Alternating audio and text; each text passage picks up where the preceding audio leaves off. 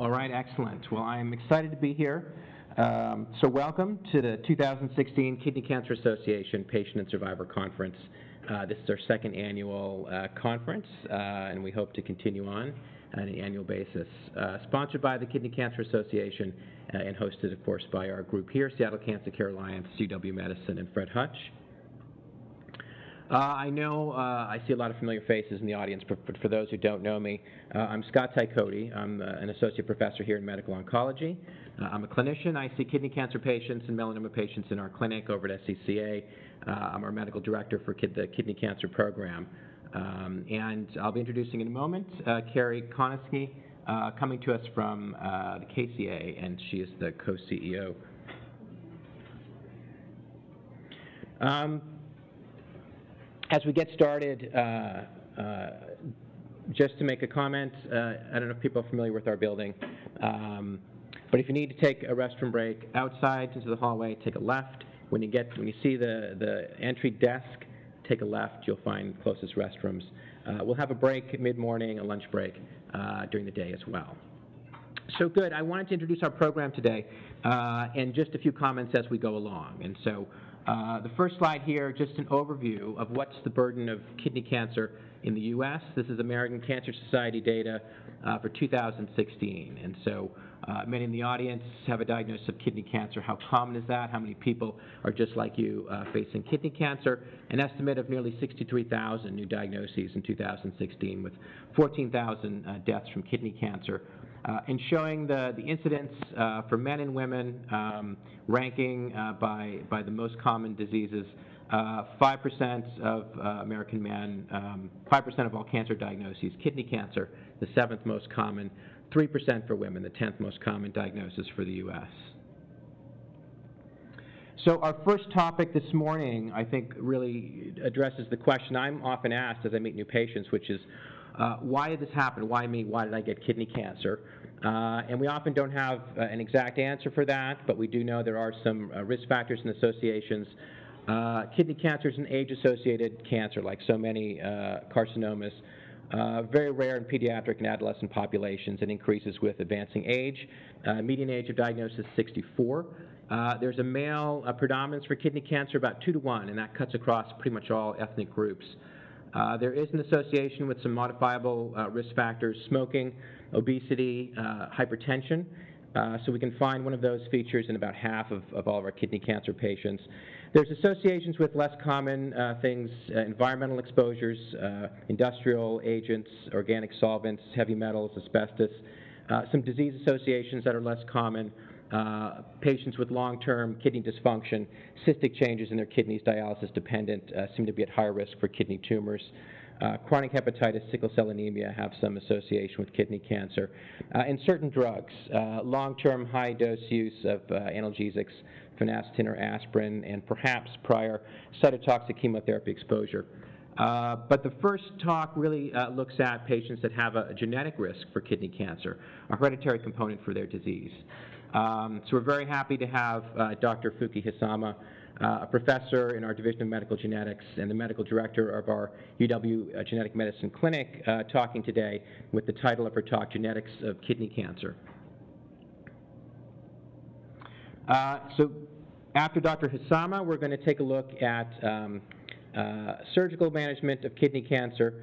So a figure here, just to remind you, kidney cancer fundamentally is starting in the kidney. Kidney tumor cells look the most like renal epithelial cells, the lining cells of the tubules in the kidney, uh, the, the business portion of the kidney. And like any cancer, there's a staging algorithm for kidney cancer, stage one, two, three, and 4, which tells us something about um, the extent of growth and the, the prognosis, the risk of that tumor. Uh, you can see there's size criteria for placing uh, tumors into stage 1 or 2.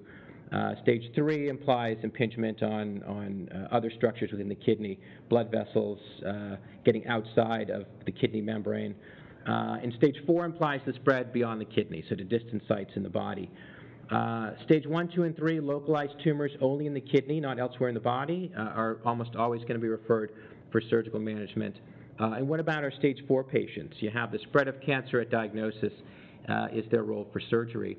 Um, this is a, a figure that just shows you what's the distribution of new diagnoses, uh, how do patients present with kidney cancer. So this is from a large uh, group of patients, a 12-year uh, interval uh, coming from a database that is incorporating data from over 1,600 U.S. hospitals, over 400,000 patients. So really giving you, I think, a very nice statistical snapshot of, of how do patients present uh, contemporarily with kidney cancer. So stage one tumors, uh, far and away the most common uh, diagnosis, half of patients. Stage two and three, again, the solid majority of patients have a localized tumor. Stage four, about 16% of patients at first diagnosis. Uh, and this is a figure um, coming from a group uh, in Boston, uh, Tony Choueiri's group, uh, the Mass General and Dana-Farber program, uh, trying to look at the issue as is, is there a role, uh, a therapeutic role, for doing nephrectomy surgery in the setting of metastatic disease. And so this is a survival figure, um, and we'll, we'll have these again. So um, to get you up to speed on what we're looking at, at time zero, all the patients are alive.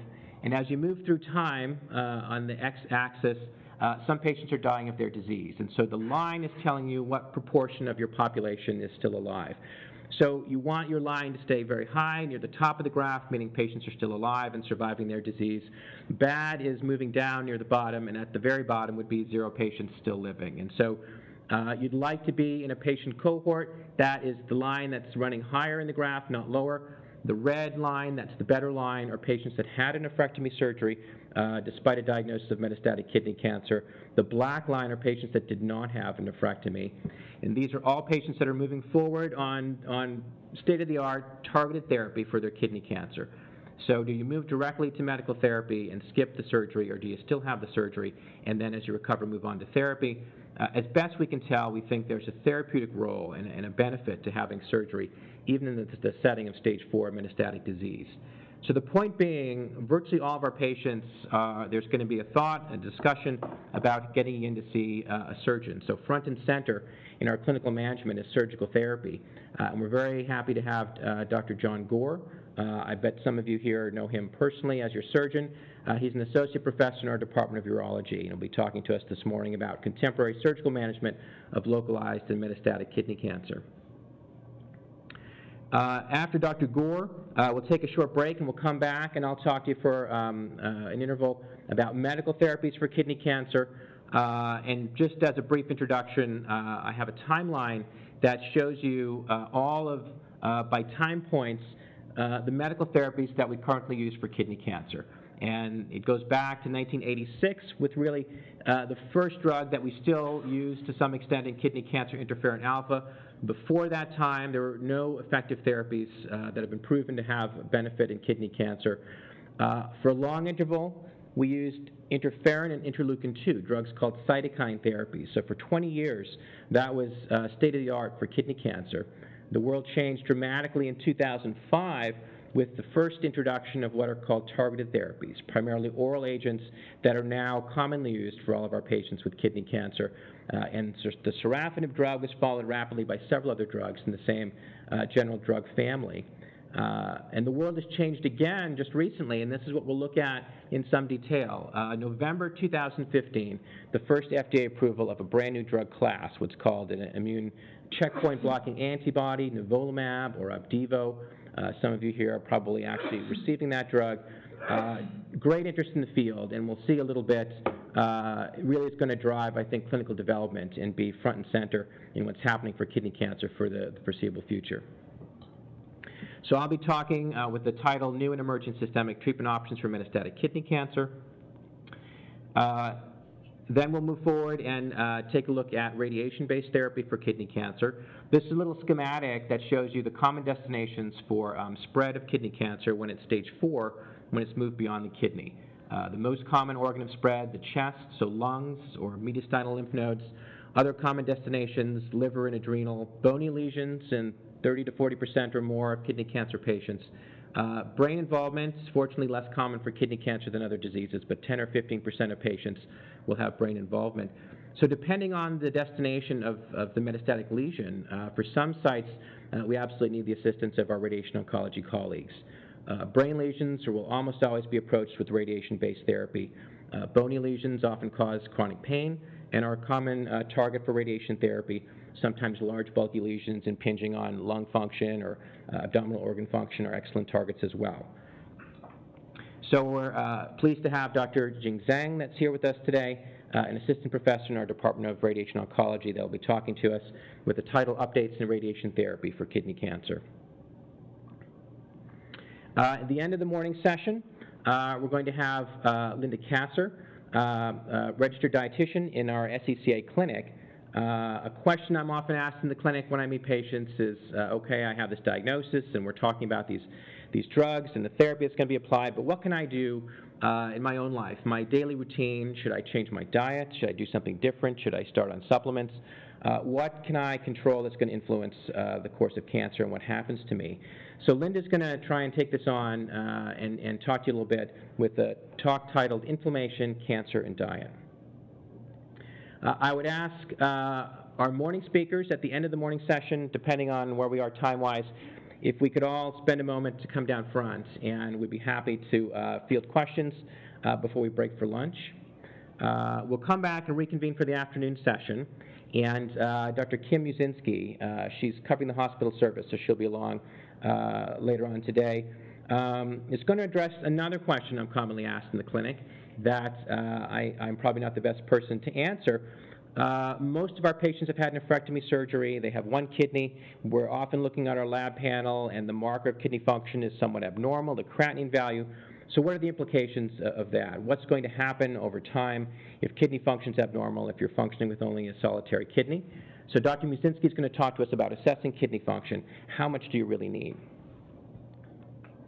Uh, and then we'll wrap up uh, the afternoon session uh, with Art and Julie uh, Chimura. They are the local uh, coordinators for our uh, Seattle Kidney Cancer Association support group uh, and giving us a few comments on their perspectives as both a kidney cancer patient uh, and caregiver.